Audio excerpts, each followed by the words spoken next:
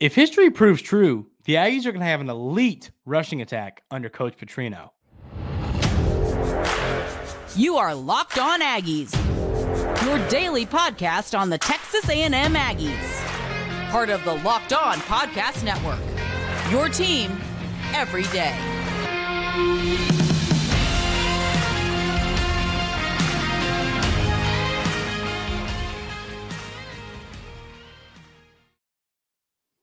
Welcome on into Locked On Aggies. I'm your host, Andrew Stefaniak. Thanks for making Locked On Aggies your first listen every single day. These last few days, we've talked a little bit about the passing attack, a little bit about the receivers, some about the offensive line. We haven't gotten much into this running back room and what the rushing attack is going to look like this season for the Aggies. So the first thing I did when kind of researching how's this rushing attack going to be is is thought to myself, well, I wonder what Coach Petrino has done historically with his play calling when it comes to running backs and rushing attacks and that kind of stuff. So I looked up some of his best performances as an off I mean as a as a play caller, offensive coordinator, and a few of his best seasons, and I pulled the numbers, which are gonna is gonna get Aggie fans excited. So all four of these numbers I have here are from his time at Louisville, but they're over a very widespread time of you know a wide time span. You'll see what I'm talking about here in a minute. So, but what these numbers are are the Louisville's yards per game, some of the best numbers when Coach Petrino was the coach there. 2017, of course, Lamar Jackson was the quarterback.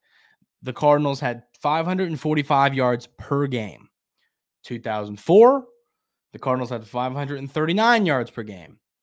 2016, 532.7 yards per game and 2003 488.6 yards per game those numbers now i get it it's the acc it's not the it's not the um sec but my goodness that's some offense right there those numbers especially after what aggie fans had to go through last year where the offense didn't produce much Whew, what a game where, where Texas A&M put, puts up 545 yards this year be ever so exciting. And it's going to happen. I, I, fully believe. And so let's break down some of these numbers. I'm going to tell you why I think that this Texas A&M football team is going to be able to run the ball really efficiently thanks to the way Coach Petrino does things. So that team in 2017, of course, Lamar Jackson was was running the rock and passing the rock, but four running backs on that team had 20 or more carries.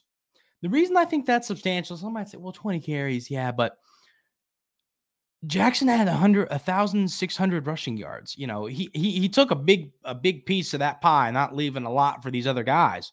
So, uh, you know, having a lot of guys over this amount of carries shows Petrino likes to spread the ball around. That year too, you had a running back with 500 yards, running back with 400, a couple with 200. So people are getting touches, people are getting their carries. This season is the one that really sticks out to me, and, and I think can kind of be similar to what we might see from the Aggies this year, although it was 2004. Now, one more point I want to make before I get into this is I think another exciting thing about these numbers is seeing that in 2003 and 4, Coach Petrino's offense was elite, and 2016 and 17, Coach Petrino's offense was elite sometimes we'll see a coach has an offense that they come up with and it works for four or five years and it's really great. And then people start to pick up on it. And that's the end of it. Petrino's offense has not been that way. Look at these numbers. You got elite numbers in 2004 and elite numbers in 2017. And that's what I'm talking about. I was talking about the wide time span that these numbers spread across, which is what should be exciting for Texas A&M fans because Coach Petrino is not a thing of the past. Coach Petrino is a thing of the past, current, and future. So, but now back to this 2004 season that I think is a great talking point potentially for this 2023 Aggie rushing attack. Once again, four guys with 20 or more carries. But more impressive than that is the yards of those four guys that had 20 or more carries. 938 yards for the leading rusher on that team, 734 for the second leading rusher, 373, 347. Wow. Those are some great numbers for a running back room. And with the elite running back room the Aggies currently have, that lets makes you wonder a lot of these guys are going to get a lot of carries. So now let's break down this Aggie running back room and kind of see how does, does these two things correspond with one another. Mari Daniels, Le'Veon Moss, Rueben Owens. Those are going to be the three main guys toting the rock for the Aggies this season. Of course, Daniels and Moss, talented players from previous teams that were on the team previous to the season. Rueben Owens, the five star freshman. I'm a big Rueben Owens fan. Those of you that have everydayers that have listened this first week of me doing this show, you know I'm a Rueben Owens fan. I'll be very open with that because he is awesome. But he is young. And I think to start the season, Amari Daniels and Le'Veon Moss are going to kind of be the guys. I think as Rueben Owens gets his footing in the college in college football, I think Rueben Owens can take over this backfield. Now, I want to be very clear. When I say take over this backfield, all these guys are going to have have relevancy, regardless of who the guy or the guys are is. so let's say Daniel starts the year and he opens up the first game of the year and he gets 16 carries, 15 carries. I think a game like that, you're going to see Moss get seven and Owens get three or four, and you might see these numbers change and fluctuate and move. But a lot of guys are going to get a lot of work. And so, you know, that's what I'm trying to push. If if if Owens becomes the guy, I still believe that these other guys are going to be used a lot in for this football team for Coach Petrino's offense. What he's trying to get done in College Station. So, you know, you lose De'Von Achane. Achane's awesome. I can't wait to get him on a fantasy football roster. That's there's your sleeper. There's your Andrew Stefaniak fantasy football sleeper of the day advice. Although I'm sure all Aggie fans are going to be stoked to put him on your team. But there you go. So Amari Daniels, Le'Veon Moss, Rueben Owens, all of these guys are going to have a lot of relevance for this Texas A&M football team. They're going to carry the ball a lot, and I think you could see a season where, you know, let's say Daniels is the guy to start, is the guy to finish. I, he could have a thousand ten yards, and then you could see Moss with 532 and Owens with 437. I mean, these numbers are going to be impressive. It's not going to be one guy. I've made my point that I think this offensive line is going to take a step forward this year. I think these guys are, have gotten a lot better in the offseason. And I think this scheme of the offense is going to work better for the offensive line, which is going to lead to more yards for the running backs. I think numbers like that, where, you know, you see, like I said, a thousand plus for somebody and then 600 plus for somebody and 400, 500 plus for somebody is realistic, potentially even more than that. So I think these three guys are going to be well, first of all, I think they're going to be one of the better running back rooms in the SEC and potentially in the country. This is a great running back room of deep elite talent that I think is going to develop into a place where they're really good. I think Rueben Owens. I, am a guy. We talk about the, the the the change of you know the change of speed when you come into the college game. For running backs, I think that's a little different. I think it's more natural phenomenon of you can see the holes, you can make your cuts, you can you can make guys miss or you can't. You know, it, it's it's it's just one of those things that comes natural more so than you can. I mean, you can work on and get better at anything, but I believe running back is one of the positions that is kind of more of a natural gift than some of the other positions on the football field. So I think a guy like Rueben Owens, who is a guy who sees the holes well, he can make the cuts he needs to. I think he's going to have a good year. I think he could come in and week one have a great performance for the Aggies. So I think Rueben Owens ends up being the guy, but all three of these guys are going to have a lot of use and a lot of production for Coach Petrino, Coach Petrino, and this offense. So it'll be interesting to see how this dynamic, you know, it'll be it'll be a fun conversation to have week seven, week eight, after we've kind of, or you know, week four or five, after we've seen it a little bit and seen how it looks to kind of see if this changes, who all is getting the work. So this run game is going to be fun and it's going to be elite under Coach Petrino. And I think you're going to see the Aggies run the rock a lot and run the rock effectively. Who are the best 15 players on Texas A&M's football team? We'll talk about that in a minute, but first I want to tell you about our friends over at Built Bar. Built Bar, not enough you, you can say positive about, about these Built Bars. 130 calories, four grams of sugar, and 17 grams of protein.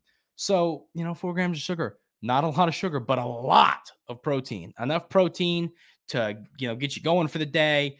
They're they're 100 covered 100% in chocolate. These bars, I'm telling you, they are delicious. I was always a guy who you tell me protein bar and it's like, oh, protein bar, darn, you know, I want a cupcake, of course, you know. But the reality is, these protein bars taste good. And that's what I was just trying to say is, you know, you think a protein bar is a healthy snack and that that's not a fun snack or whatever you want to say. They are delicious. They're covered in chocolate. You have got to give Built Bar a try. I promise you're not going to regret it. These are some of the best protein bars I've ever had in my life. They're delicious. Now you can find them at Sam's Club. You can find them at Walmart. And of course, you can find them over at built.com. Please go give them a try. I promise you are not going to regret it. Aggies Wire put out a really interesting article that I love. They do a great job over there at Aggies Wire. You got to go give them a read if you don't already. I'm sure everyone in here does. They're amazing. But they put out a list of who they think are the 15 best players on Texas A&M's roster going for the 2023 season. There's a few names missing and a few names on this list that I look at it and I'm kind of like, okay, I agree with 85% of this. There's a few guys I disagree with. Let's run through the list. And then I have five guys I think are in the conversation that could be on this list. Number 15, freshman offensive lineman, Mark Nabou. You know, great player. I'm excited to see what he's going to do this year. Um, I, but a lot of what I've seen, what I've read, and what I've studied is I, I don't know how much of a role he's going to play for the Aggies in 2023. So he he's the first guy that I'm kind of like he's going to be a great player. He's going to have a great career at Texas A&M. But I think there's a few guys you could have had on this list over him. Um, I hope he proves me wrong because, like I said, this offensive line is going to be a big key for the Aggies. So let's say he is a guy who does get the nod. He does start for the Aggies. He does work his way into the rotation. He becomes elite. He makes his football team better. Noah Thomas at number 14. I love Noah Thomas. We talked a lot about receivers the other day. I should have talked more about Noah Thomas. I'll be open about that. You know, I, I'm excited about him, but there's a couple guys I think are going to be better. But Noah Thomas could be awesome for the Aggies. But he's one another one of the ones that I think you could have gone a different route. We'll get to that more at the end when I tell you the guys I think should be on this list. But Noah Thomas is going to be great. I think he could have a huge role for this team. Number 13, sophomore tight end Donovan Green. Donovan Green, Coach Petrino loves utilizing tight ends. I think Donovan Green is going to be awesome. I think he's going to be just a beast. He's going to help, in, whether it's in the run game, in, in the receiving game. Green's going to be awesome. I'm really excited to see what he can do this year. Um, and then Amari Daniels, who we just got done talking about, is number 12 on this list, junior running back. Um, we just talked about him. I think he's going to start the season as the main guy, and I think potentially he is going to be a guy who works his way in, um, who who is potentially taken over by Rueben Owens, you know. But at the end of the day, Daniels, I think, is going to start the season as the main running back. And even if Rueben Owens does overtake him as the guy, I think Amari Daniels is going to have a big role for this team. Then you got senior defensive back Damari Richardson. I'm ex- or Demani Richardson. I apologize. Uh, I think he's going to have a good year. I think he's someone ex- that should be on this list. He's a great player. He's going to help out this football team. I think he's going to take a step forward this year. I'm really excited to see what this year looks like for him. I, I you know, he's a guy I, I, completely agree with. He, he needs to be on the top 15 list somewhere. Number 10 is senior offensive guard Layden Robinson. Robinson, I think, is, is one of the reasons that I'm so high on this Aggie run game. I think he's going to take a step forward from last year. I think he's going to be great, and I think he helps. Tech, I think he helps give Weigman time, and I think he helps block for this running game that we just talked about to succeed. Then you got Reuben Fatheree, same thing as Robinson. Both of these guys, I think, are going to have great seasons. Both of these guys are big reasons as to why I think this team is going to be great and this offense is going to be great. I'm excited for Fothery. I think he deserves to be on here, and I think he's going to prove why he's on here this season for the Aggies. Then at number eight, you got grad, um, you know, last year guy, t- uh, tight end Max Wright. Uh, Max, he was one of the interesting ones. I think Donovan Green might be a little bit more used in this offense. I think Max Wright is one of those guys who's higher on this list. I know he does a lot for the Aggies and he's a great player, but I think there's a few guys you could have snuck on here before. If you all disagree, if you all think Max Wright is going to be a guy who is utilized a ton, let me know. I think he's going to be utilized, but I just think there's players that are going to be utilized more. Um, seven, we got Bryce Anderson, defensive back, sophomore. I completely agree with this. I don't think there's any debate about that. He's a great player. And I think he's going to make this Aggie defense great, which already was. I, as I said the other day, 24 7 Sports has Texas A&M's defense as the number seven overall defense in college football this season. And he's a big part of why. So After that, we got center sophomore Bryce Foster. Bryce Foster is a guy who many people believe could develop into a stud and be a guy down the road taken high in the NFL draft. Well, I'm hyper focusing on this offensive line. I think this offensive line, as I've been very clear, is going to take a step forward. And I think Foster's a big part of why. Number five, quarterback Conner Weigman. I don't think we need to even talk about this one. Super excited for Wegman. Super excited for what he's going to do this year. And he is completely deserving of this list. Then you got junior defensive lineman Shemar Turner, and right below him is sophomore defensive lineman Shemar Stewart. Both of these guys, once again, are going to just be dogs up front. I'm excited to see what they do. They're both deserving on this list, no debate here. And then you got two of those former 2022 guys that are elite in defensive lineman Walter Nolen and wide receiver Evan Stewart. You all have heard me talk about both of these guys. I'm really, really excited about both of these guys. I think Nolen and Stewart are going to be awesome. Um, I think I think Stewart, we already know what we have in Stewart. I think Nolen has a little bit more to prove, and I think Nolan is just going to be absolutely electric this year. Now let's talk about five of the guys I think should have been on here. The first one who I've circled a hundred times that I, I, don't understand why he's not on here is Tyreek Chappell. On3 just released a list of their top 100 college football players in this season, and Chappell was in in the 90s on that list. And of course, he was the only Aggie on that list. So to not have him as one of the 15 best players on the team, I think is a little crazy. I think Chappell is going to be awesome. I think he's going to have a great year, and I think he's going to be one of the better cornerbacks in the SEC this season. Rueben Owens. Now, this is another one of it's all speculation. He's a true freshman. We're just going to have to see it on the field. But I, you all know how much I like Rueben Owens. I'm putting him on this list. Talent wise, I think he's one of the best 15 players on this team. And I think he's going to eventually prove that for the Aggies this season. Then I got two wide receivers who I talked about the other day Ainias Smith, uh, Muhsin Muhammad. The Noah Thomas, Smith, and Muhammad debate is one that we could sit here and have all that. We know Stewart's the guy, but those three guys, the mix and match of those three guys is a great question. I saw a lot of your all's comments today, which I really appreciated talking about. Noah Thomas is a guy that we think is going to help. And that I agree with you guys. Great comments. I appreciate the feedback there. I think Noah Thomas and Muhammad and Smith are going to be guys who are going to help this team a lot.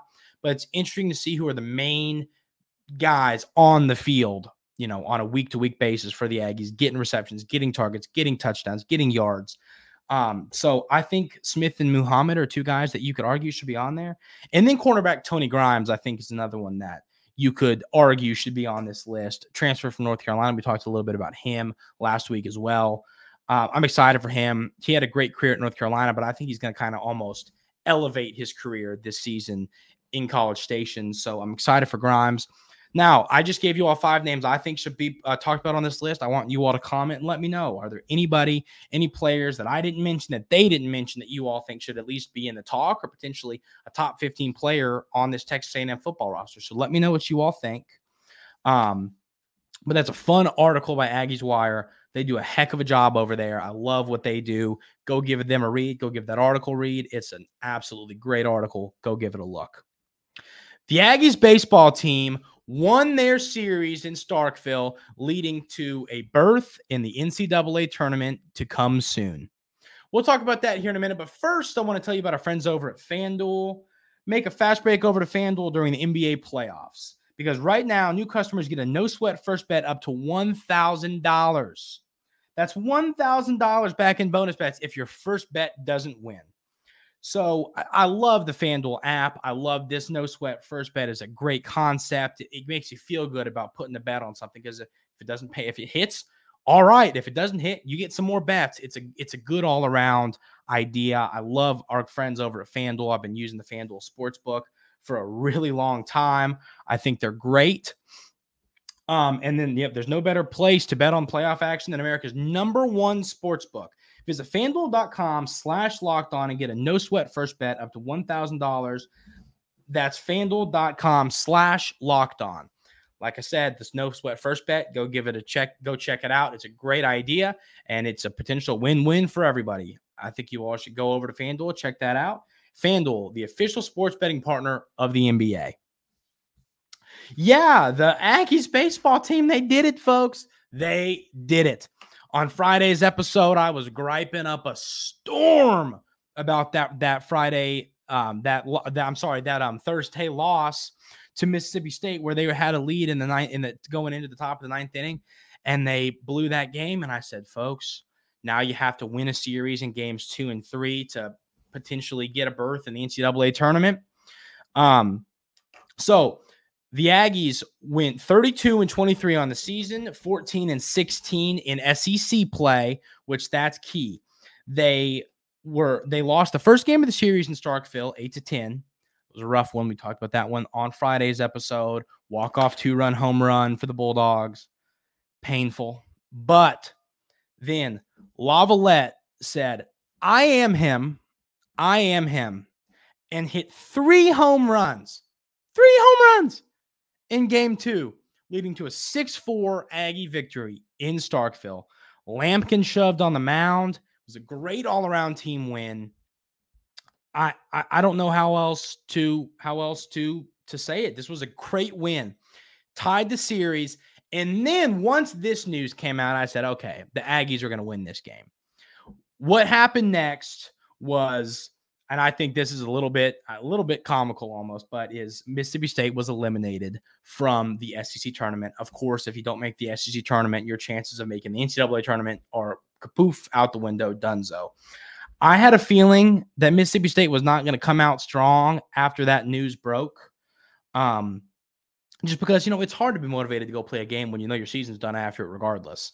And that ended up being the case. The Aggies win 15 to 10 in a classic uh, series finale in the SEC, where you got your into your bullpen guys, a lot of runs, a lot of home runs, a lot of fun there. Will Johnson had a great outing for the Aggies 4.2 innings, one earned run, seven Ks. Uh, Werner was great, two bombs for the Aggies. And, you know, they, of course, win that game 15 10, setting themselves up in the SEC tournament to start off the SEC tournament in Hoover against Tennessee. Seven versus 10. It's gonna be a fun game. I think the Aggies can compete. What now? I want to break down how this works here with with the postseason. The statistics on if you get to 14 conference wins, your chances of making the NCAA tournament are are high in the SEC, of course. That is. So winning that series with the winning the final two games gets the Aggies to that ever so important 14 win mark to where they're going to be playing in the postseason. That's very exciting. Then you break down the fact that you you want the Aggies to win a game in Hoover.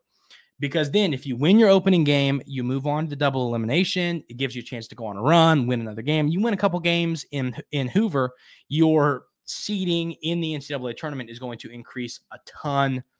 Um, I think this is gonna be a big ball game against Tennessee on Tuesday. The time I, I am you know it's not good to give a time yet because it's kind of gonna be to be determined. The first game's early in the morning. That game there's rain in Hoover every dang year. There's long games, extra innings every. So it's just it's the second game of the day. However long the first game takes, we'll just have to see. Um, but heck of a job by the Aggies baseball team. They pulled it together. They got the job. I didn't think it was going to happen. I'm going to be honest. When Mississippi State was fighting for their chances to make the NCAA, or I'm sorry, to make the SEC tournament, and they and they um, went out and won game one, I said I I think the Aggies are going to drop this game, and if they don't get to 14 wins, your chances of making the tournament drop significantly. So you still have a chance at 13 wins, but it's not very high.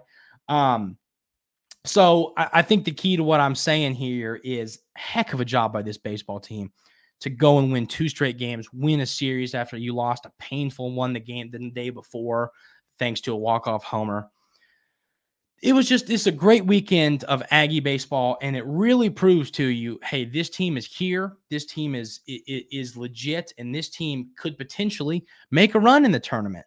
I've said it. If if SEC teams can just get into the postseason, they can make a run. it's a fact. It's an established fact. I mean, look at what Ole Miss did last year. They just snuck in and won the whole dang thing. So, um, Texas A&M, I think, is going to be a team that could make a run in the tournament. But a good starting point is winning game one of the SEC tournament against Tennessee. It's going to be a fun game. I'm excited. That's Tuesday. We'll talk about it after it happens. That and and um, hopefully the Aggies can pull out a big win and move into the double elimination part of the SEC baseball tournament. that is going to do it for today's Locked On Aggies. I'm your host, Andrew Stefaniak. You can follow me on Twitter at Andrew Stefaniak. And um, on the show, you can follow on Twitter at Locked On Aggies. I've taken over that account. I'm putting out little tidbits here and there. I made a little comment, you know, after the baseball game saying, hey, we're kind of going to talk about that. I'll, I'll kind of allude to, hey, we're going to talk about this um, on this day when when Texas A&M sports news pops. So you all should follow the show. You all should follow me on Twitter. I'd appreciate that a ton. That's going to do it for today's Locked On Aggies, like I said, and we will see you tomorrow. Have a great rest of your day.